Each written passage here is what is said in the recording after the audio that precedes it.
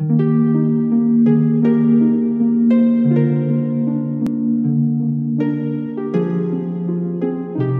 dear students, how are you? I hope you will fit and fine at your home. Welcome back in your computer class. I am your computer teacher Priya Singh. Today we'll be start new topic. Topic is components S PowerPoint window students हम लोग इस video में आज components पढ़ेंगे, यानी कि M S power point के components क्या क्या हैं। प्रीवियस वीडियो में हम लोगों ने ये सीखा था कि पावर पॉइंट कैसे स्टार्ट करते हैं, और कुछ और भी उसके बारे में आपको इंट्रोड्यूस कराई थी एवा ने।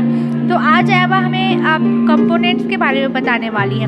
So let's us learn about the components of M S PowerPoint window तो चलिए कुछ और भी पढ़ लेते हैं इसके बारे में। किसके बारे में? M S power point window के बारे में। तो फ़र्स्ट पॉइंट है आपका title bar the title bar is located at the top of PowerPoint window students जब आप पावर पॉइंट ओपन करेंगे ना तो उस उसके विंडोज़ पे ऊपर, यानी कि टॉप में दिखाई देता है टाइटल बार जैसा कि मैं आपको 7.2 फिगर में दिखाना चाहूँगी। ये रहा आपका 7.2 फिगर इसमें आप देख रहे हैं कि पावर पॉइंट का पूरा स्ट्रक्चर दिया गया यानी कि पावर पॉइंट जब आप ओपन करेंगे अपने कंप्यूटर स्क्रीन पे तो ये ऐसा दिखाई देगा। और वो टाइटल बार की बात रही तो टाइटल बार यहाँ आपके फ्रंट टॉप में दिखाई दे रहा है। ठीक है? और क्या क्या इसमें दिखाई देता है? क्विक एक्सेस दिखाई देता है टूल बार दिखाई देता है, रिबन दिखाई देता है स्लाइड टैब दिखाई देता है, आउटलाइन टैब दिखाई देता है और भी कुछ स्टाइल दिखाई देता है स्टूडेंट्स। तो आप लोग इस फिगर को हमेशा ध्यान रखेंगे कि पावर पॉइंट जब ओपन होता है तो कौन कौन से टूल्स दिखाई देते हैं। It displays the name of the file and the name of the program कह रहा है स्टूडेंट्स कि ये क्या शो करता है कि आपने कौन सा फ़ाइल खोला है और कौन सा प्रोग्राम ओपन किया है? यानी कि एप्लीकेशन आप कौन सा चला रहे हैं? अगर आप एम एस एक्सेल चला रहे होंगे तो ऊपर में एम एस एक्सेल दिखाता है। अरे तो वो वर्ड दिखाएगा। लेकिन यहाँ पे हम लोग M S power point use कर रहे हैं, इसलिए माइक्रोसॉफ्ट पावर पॉइंट दिखा रहा है। और प्रेजेंटेशन वन यानी कि इस फ़ाइल का प्रेजेंटेशन वन नेम रखा गया है okay It also contains the quick access toolbar on the left. Students, quick access toolbar आप देख रहे हैं कि टाइटल बार के लेफ़्ट साइड में है। यहाँ पे आप देख रहे हैं कि क्विक एक्सेस टूल बार दिखाई दे रहा है। ये तो आपने प्रीवियस क्लासेस में भी पढ़ा होगा या फिर प्रीवियस चैप्टर में पढ़ा है। This tool bar contents icons for frequently use commands ये सब सारे फ़ाइल को कमांड्स करने के लिए होता है।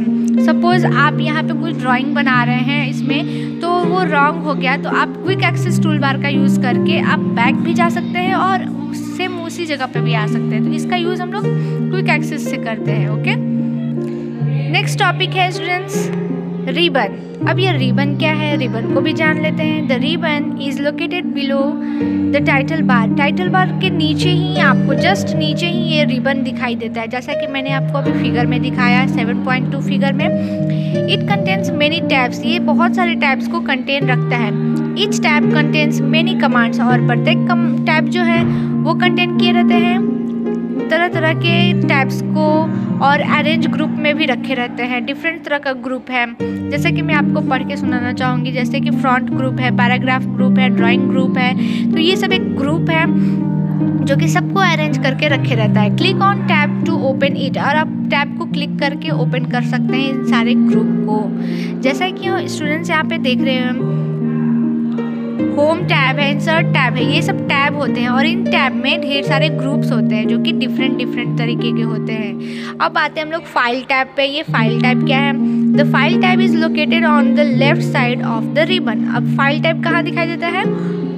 रिबन के लेफ़्ट साइड में, जैसा कि आप यहाँ देख सकते हैं। इस फिगर में आपको दिखाई दे रहा होगा कि फ़ाइल टैब कहाँ है। यहाँ पे है students when you click on the file tab जब आप क्लिक करेंगे फ़ाइल टैब पे तो you see the back stage view आप देख सकेंगे कि बैक स्टेज इसके पीछे के स्टेज जो होते हैं, वहाँ पे स्क्रीन पे कैसे दिख रहे हैं, वो आप देख पाएँगे. This is the place where you find options for creating saving printing files and so on क्या की फ़ाइल टाइप में भी बहुत सारे ऑप्शन आते हैं? कौन कौन से आते हैं?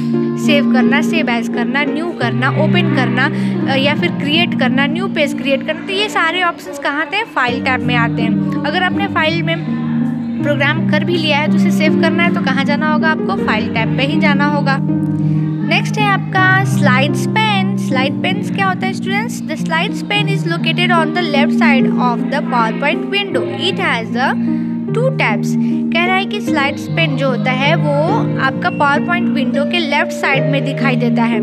It has a two tabs इसके पास टू टैब्स होते हैं। कौन कौन से स्लाइड्स टैब होते हैं और आउटलाइन टैब होते हैं। तो ये स्लाइड टैब और आउटलाइन टैब क्या है students all the slides are display in a small view in the slide tab कह रहे हैं स्लाइड टैब जो होते हैं, सारे दिखाई देते हैं स्मॉल व्यूज़ के टाइप में? You can click on the slide number in the slide tab to view the slide अगर आपको एक एक स्लाइड को बारी बारी से देखना है तो आपको व्यू स्लाइड्स पे जाके क्लिक करना होता है, तब जाके आप एक एक स्लाइड्स को देख पाएँगे। लेकिन ये स्लाइड क्या है?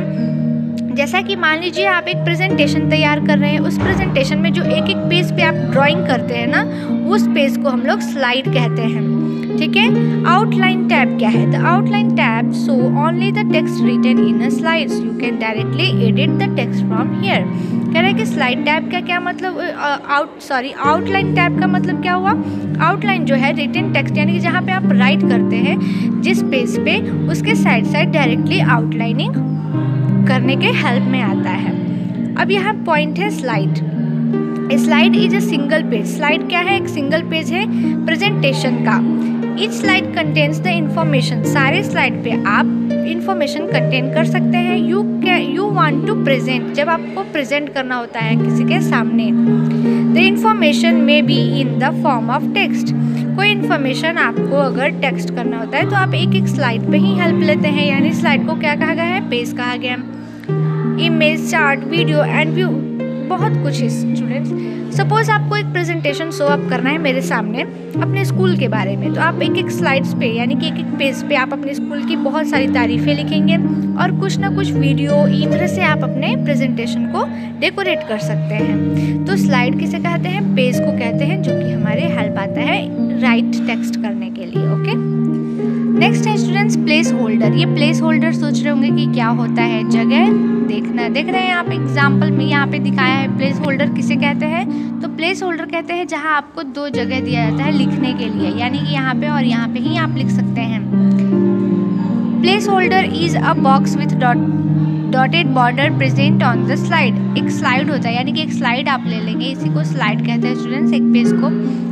इस स्लाइड में दो बॉक्स दिखाई देते हैं, जहाँ की आप लिखा रहता है क्लिक टू ऐड टाइटल। यानी आप कुछ भी यहाँ पे रिटर्न कर सकते हैं। You can place text and pictures inside placeholders अब ये इसमें आप कुछ भी हेडिंग्स या कुछ भी रिटर्न कर सकते हैं। स्टेटस बार क्या है?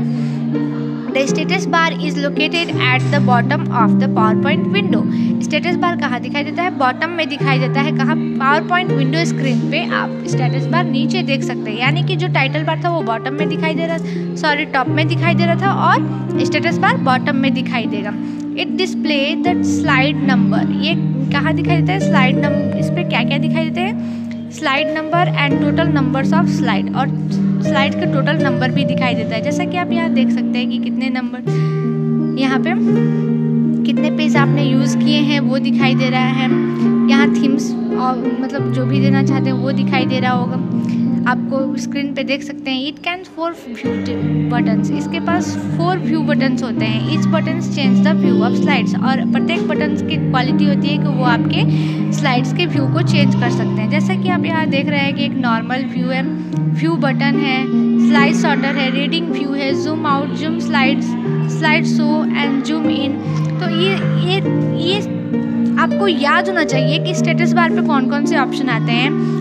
टूल बार पे कौन कौन सॉरी टाइटल बार पे कौन कौन से ऑप्शन आते हैं? तो स्टूडेंट्स ये बहुत इंपॉर्टेंट है आप लोगों के लिए। आप लोग को ये सब याद होना चाहिए। आपने पीछे चैप्टर में भी पढ़ा होगा स्टूडेंट्स कि नॉर्मल व्यू क्या होता है स्लाइड्स ऑर्डर व्यू क्या होता है रीडिंग व्यू क्या होता है है ना? लेकिन आज हम लोग फिर से एक बार पढ़ेंगे कि नॉर्मल व्यू का यूज़ क्या होता है. Allow you to see a slide in the slide pane आपको ये अलाउ करता है कि आप स्लाइड पेन में जाके एक एक स्लाइड्स को चेक कर सकें. Slide sorter view allow you to see all the slides in a series of rows row में जो भी एक स्लाइड के सीरीज़ लगे होते हैं, उन्हें भी आप देख सकते हैं. You can rearrange the sequence of slides in the view आप उस रीअरेंज कर सकते हैं स्लाइड्स के एक एक पन्ने को. अब है रीडिंग व्यू ये रीडिंग व्यू क्या है? Allow you to view the slides as a slide show within the M S PowerPoint window जो M S power point window का आपको स्क्रीन दिखाई देगा, जो आपके कंप्यूटर पे ओपन रहता है, वो अलाउ करता है कि आप उस पर सारे व्यूज़ को रीड कर सकें। सारे स्लाइड्स में आपने क्या क्या लिखा है, वो वो पढ़ सके।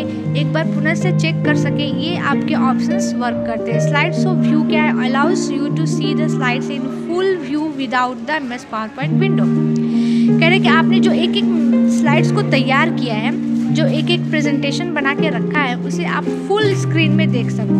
तो ये स्लाइड्स ऑफ़ व्यू का उपयोग कर सकते हैं। The status bar also contains zoom slide just drag and slide to zoom in close up view और जूम आउट हाँ कह रहे हैं यहाँ पे कि आप जूम का क्या यूज़ कर सकते हैं। यहाँ पे स्टूडेंट्स आपको जूम के बारे में बताया कि जूम इन क्या होता है जूम आउट क्या होता है। तो आप यहाँ देख रहे हैं ऑप्शन में यहाँ पे जूम आउट का मतलब माइनस में दिया है और जूम इन का मतलब प्लस में दिया है। आपको अपने प्रेजेंटेशन को जूम इन करके देखना है या जूम आउट करके देखना है? वो भी ऑप्शन यहाँ पे आपको बताया गया है, ठीक है? तो आई होप आपको ये सारे ऑप्शंस अच्छे से समझ में आ गए होंगे। अगर आपको कोई कन्फ्यूज़न होगा तो आप हमें कमेंट करके पूछ सकते हैं। Okay everyone thank you take care bye bye